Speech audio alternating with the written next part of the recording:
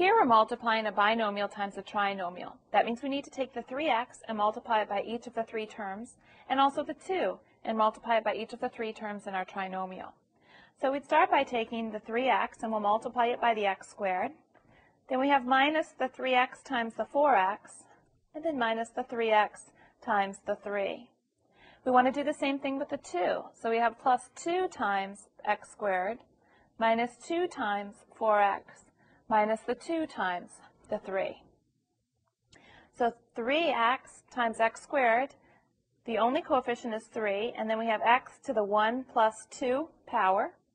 Minus 3 times 4 is minus 12x to the 1 plus 1 power. Minus 3 times 3 is minus 9x. Here we have plus 2x squared. A negative 2 times 4 is minus 8x. And finally, negative 2 times 3 is minus 6. So we're looking at 3x to the 1 plus 2 is the third power, minus 12x to the 1 plus 1 is second power, minus 9x, plus 2x squared, minus 8x, minus 6. Putting like terms together, we've got 3x cubed.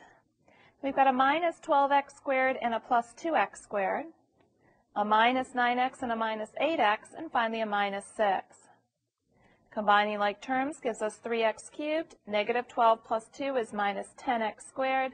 Negative 9 and negative 8 is minus 17x minus 6.